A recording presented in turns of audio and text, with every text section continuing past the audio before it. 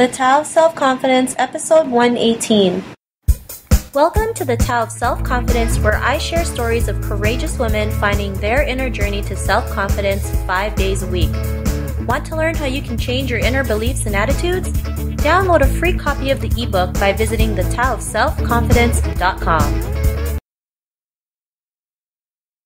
Well, hello, friend. Welcome to the Tao of Self Confidence, where I share stories of amazing women who have discovered their inner journey to self confidence.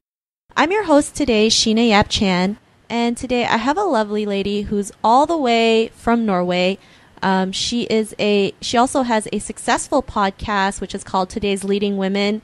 Um, you know, she's interviewed more than 500 female entrepreneurs on her podcast. So, you know, it's amazing to have her on, on the show today and share her story of self confidence. I'm going to introduce you to Marie Grace Berg. Marie, how are you doing today? Maybe you can fill in a little bit more about yourself to our listeners.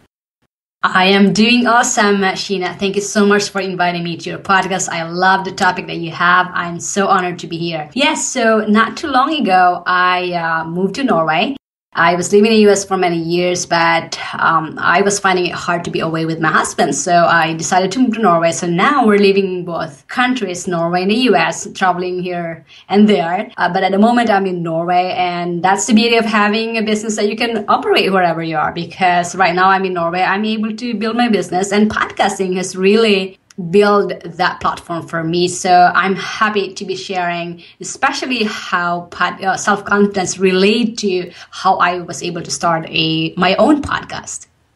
Awesome! I can't wait to hear the story. So, Marie, what's what's your cultural background? So I am influenced by three different cultures. I grew up in the Philippines. You know, Philip, growing up in the Philippines, I didn't know about self confidence, and it was never taught, especially where I grew, where in my family where I grew up. And then I moved to the U.S., where I lived for many years, where self confidence is like expected of you. And now in Norway, it's a must. I feel like it's a must to be self confident. Otherwise, you're not going anywhere. So I believe my self confidence now is being influenced or uh, kind of yeah i mean from those different cultures that i have uh, experienced that i have lived i think that helped me build my confidence in in not just my personal life but in my career in my business and in my daily day-to-day life in general Awesome. Well, thanks for sharing that. And I totally understand when you said you, you grew up in the Philippines because that's where I was born as well. So you know oh, that is nice to hear that. I mean i i'm sure you share i'm not sure if you had the same experience as i had but growing up in my family it was never being i was never taught about self-confidence. I never heard about that word either. But i think uh, i mean in reflecting now i felt like it's expected of you in some ways like because i was sent to college alone and i have to find my way. I have to be confident about being alone and going to college myself doing what is expected of you. So i think you'll learn it. Yeah for sure. I mean you just learn it along the way right? We figure things out. So you know thanks for sharing that. And you know marie what's your favorite self-confidence quote? I Love this question. So, to me, self confidence is a choice. And I live by this because I believe you can choose to be confident. I, and I am a true testimonial of this because I'll give you an example. You know, when I moved to Norway for the first time, I knew no one except my husband. And I needed to be confident about myself so that I can reach out and get to know people. Otherwise, I'm just going to be staying home. So I decided, okay, I need to I need to find that courage inside me. I need to have that confidence so I can go out and meet other people. Not only that, but I need to have that confidence inside me to be able to follow what it is I want to do. Otherwise, wow, I'm just gonna be miserable. So to me, self confidence is a choice. And I know well, we're going to talk more about self confidence, but for me, that was the deciding point. That was the, that was how self confidence to me is you have to make that choice. You have to make that decision that you can become. You can be self confident. You can be confident about what you, about yourself, about what you do, about the people around you, about the things around you. You can be confident if you choose to. And I know it's a bold statement, but I believe it is a choice, and you have that choice. Everyone has that choice. I totally agree. And, you know, being self confident, you have to be bold. So, you know, I totally love it. people forget that self confidence is something with inside you and something you can choose to have and choose to get. So thank you for sharing that. And in your own words, how would you define self confidence?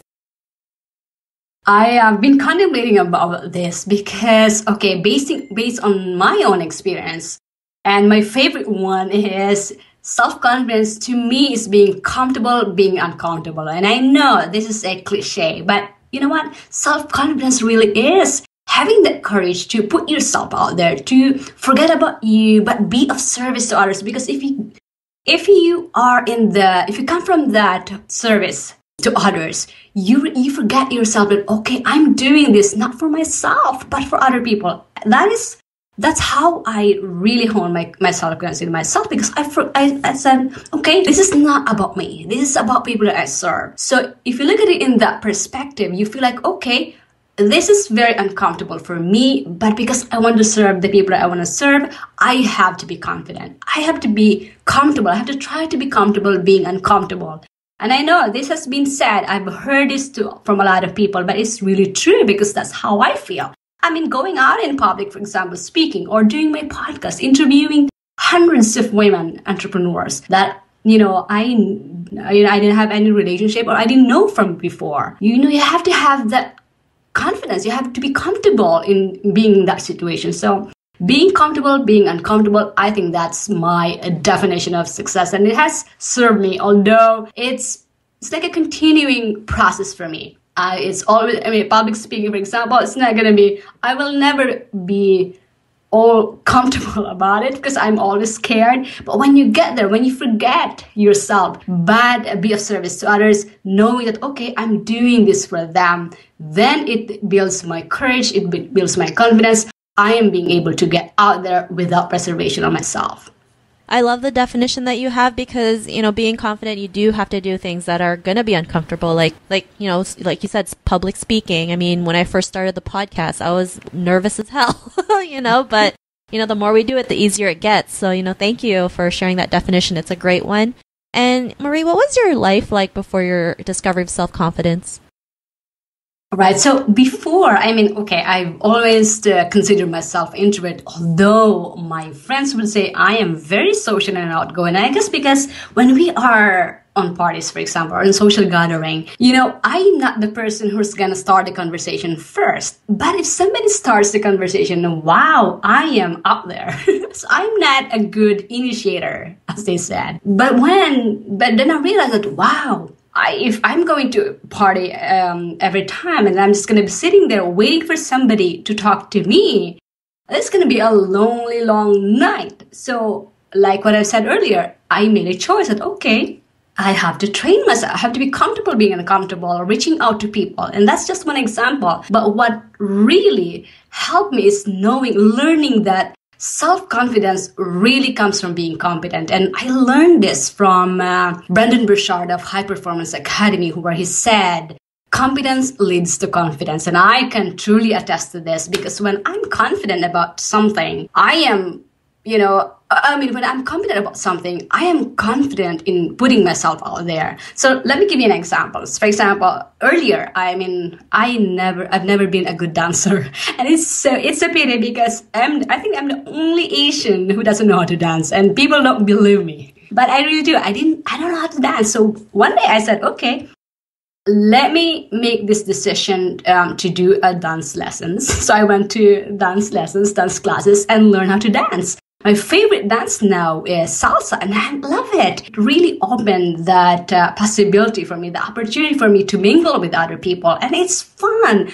So it's really about. I mean, if I wasn't confident about it, I mean, if I didn't know a few some steps about dancing or salsa, for example, for that matter, I wouldn't be confident about going into parties, going to other to, to gatherings, or even reaching out to other people. So I think it has something to do with being competent as well um, that leads to your having that confidence on yourself.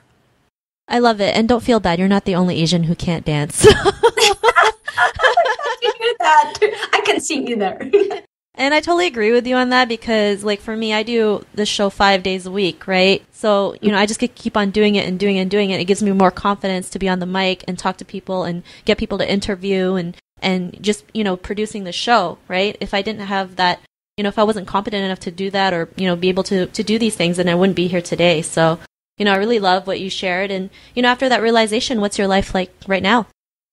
Oh wow! I mean, I I have to put it uh, as a top of mind awareness that wow, being when I'm in a situation where I feel, I don't feel confident, I've you know first of all I said to myself, okay, self confidence is a choice. Do I know something about this topic or do I know something about this thing that I am I'm feeling not confident about? So I kind of do some reflection on myself first and say, okay, what's why am I feeling this way?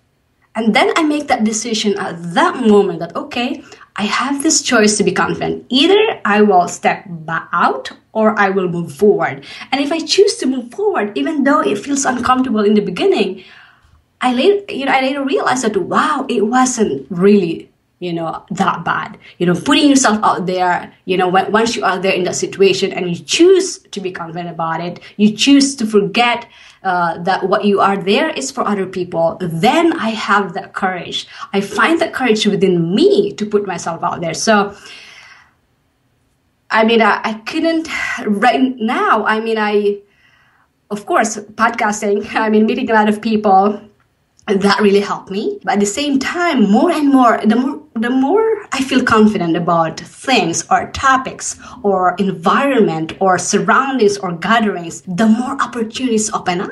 The more people come to you, the more opportunities come to you. So I feel like self confidence or having that confidence builds uh, a lot more opportunities, opens up more opportunities to you. It feels like you are more open because you don't have that. Uh, the limitations on yourself. You're open to what is that, that comes to you and not being limited by the fact that you feel you don't feel confident or you don't feel like you deserve this or you don't feel like you're comfortable doing this so it definitely opened up more opportunities and more people around me I love it. You know, it's great that, you know, you, you can do that. You're aware of what you do and you just make the decision, right? It, all it takes is a decision and just take action on it and you know then you're you're out there right? Whether it's your show whether you're doing public speaking you know you're just you're just out there having more opportunities having more fun and meeting new people. So um, marie if our listeners you know they're more they're they're listening to your episode and they're really inspired if, to take you know self-confidence in their journey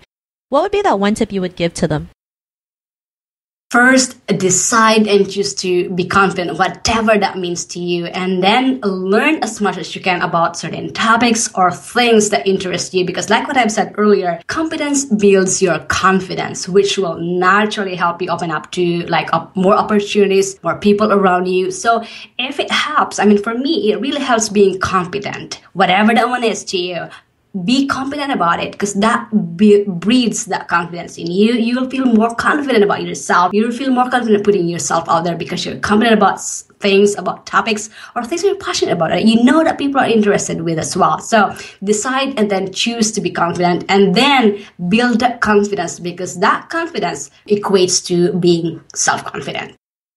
I love it. Thanks for that tip. You know, it's one thing to make a decision and then it's another thing to act on it, right? I mean, absolutely. It's great to make decisions, but if you don't act on it, it's still a decision. So thank you for sharing that. And Marie, if our listeners want to get to know a little bit more about you and what you do, is there any links or social media profiles we can connect with? Yeah, I'd love to invite your listeners to uh, listen to inspirational journeys of uh, women from around the globe that are being shared on my podcast. And you can learn more about it at www.todaysleadingwomen.com. I do podcasts, I do interview women entrepreneurs all over the world seven days a week. So again, the link is www.todaysleadingwomen.com. Listen, come listen to their journeys and be inspired just like them. Awesome. I love it. I love when there's, you know, women out there podcasting and sharing more women's success stories. I just believe that the more we have it, the more we can uplift other women up. So thank you for sharing that. And to our listeners, if you want to connect with Marie and listen to her podcast, you can also head on over to the Tao of Self-Confidence.com and search for Marie's name. Her show notes will pop up along with everything else we talked about. And I really want to thank Marie, you know, for taking the time to share her story with us. So thank you so much. You're very welcome, and thank you too. It's been an honor. Awesome. And to our listeners, be on the lookout for another new episode of another amazing woman's journey to self confidence, and we'll talk to you soon. Bye for now. Thank you for joining us on another episode of The Tao of Self Confidence. Visit thetaoofselfconfidence.com for links to everything we chatted about today, as well as killer resources, gifts, and so much more. Subscribe to the Tao of Self Confidence on iTunes or Stitcher to hear more stories of amazing women finding their inner journey to self confidence.